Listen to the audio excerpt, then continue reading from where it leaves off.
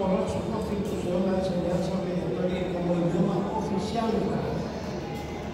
e incorporar un programa educativo de la escuela primaria y secundaria, inclusive en las universidades. A partir de que esto era ley, se encontraba el gobierno y nos encontrábamos todos porque no había capacidad de enseñanza, no había iban a llevar la lengua a los institutos. Y comenzaron a aparecer institutos de enseñanza privados, algunas como la del profesor que abre su sucursal, tiene su sede allá, tiene una sede este, en la zona de Tandil, tiene una sede corriente, tiene, es decir, esa expansión de sedes de enseñanza fue generando la presencia de nuevos profesores en una década y a su vez estos profesores fueron creando su propio grupo de enseñanza. Es decir, a la fecha nosotros nos encontramos con que ya tenemos profesores con título, con título, para poder enseñar guaraní en las escuelas primarias y secundarias de la provincia.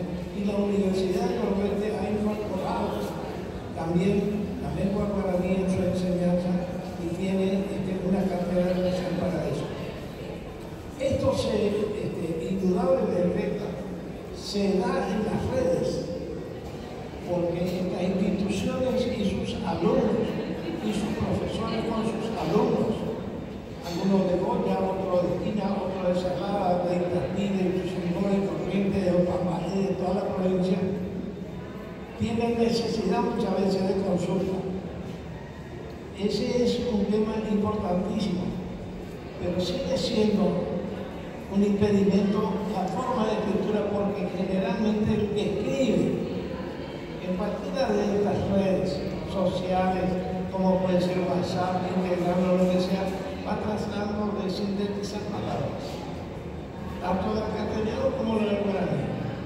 Entonces, eh, ahí se produce una deformación y esto yo creo que es un trabajo más lento, pero que de cualquier manera se ha avanzado. No es mi caso, porque yo este, generalmente me escribo con gente que estamos dentro del mismo oficio, o con los profesores, o con los alumnos de ellos por consulta. Pero este, se nota un gran avance. Y esto, esto también ha pasado un poco la frontera hacia Misiones donde son más reales, porque la eliminada misión es muy cerrada. Apenas le tienen la gente ahí adentro. Pero misiones muy cerradas a pesar de su frontera con el Paraguay, que es netamente guaraní. Y por supuesto, no pueden obviar su toponimia, su flora, todo guaraní. Entonces, se tiene que pagar el guaraní y entonces le la violina. Y la violina de ser padre, y joven, pero esa síntesis palabra esa información del idioma ha traído evidentemente en el tiempo parte de la evolución de la información del idioma. Gracias, Miguel. Ahora la consulta a Feliciano.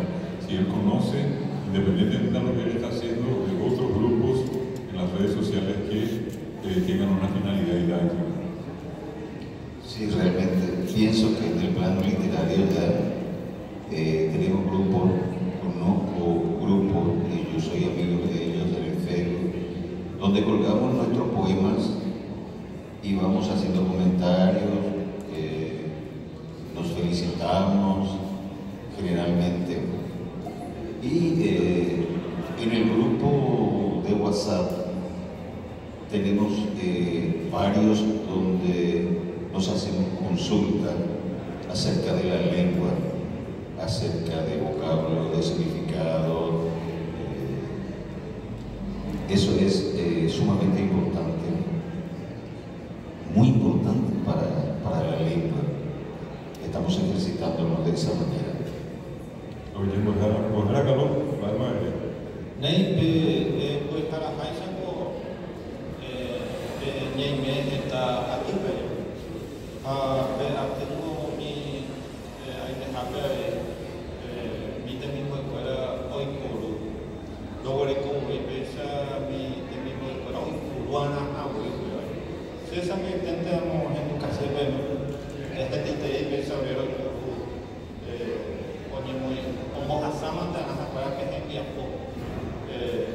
para mim. E cada um isso é o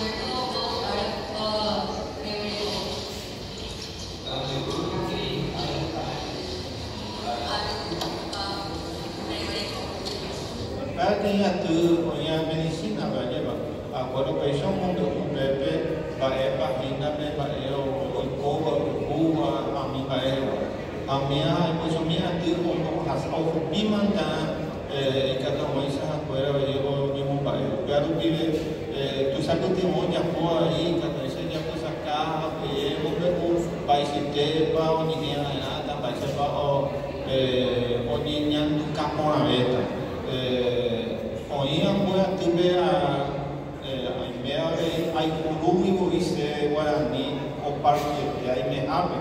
A cointe o ir a mohovai guarani me agora mohovai que isso guarani me terá a a passar o cara e tem dia o a cara o vice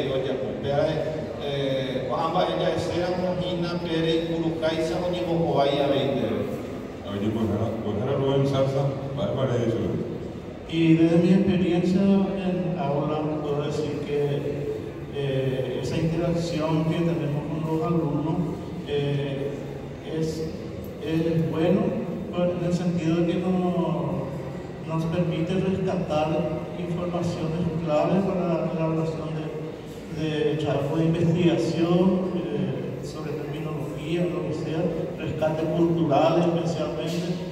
Entonces, nosotros manejamos ese tema constantemente y llegamos a optimizar los trabajos mediante las redes sociales. Prácticamente el 80% trabajamos en las redes sociales con alumnos.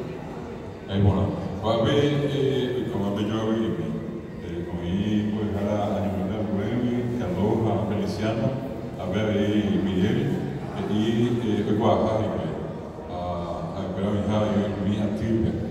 En el caso de Omar y de Nelson, era un poco el comentario que ellos eh, no conocían, particularmente Nelson, y que eh, lo que él percibía, o sea, más que percibir, claramente notoria la cuestión de usar estos grupos más con una finalidad jocosa, eh, humorística, pero no, por lo menos no conoce, no conoce pronto.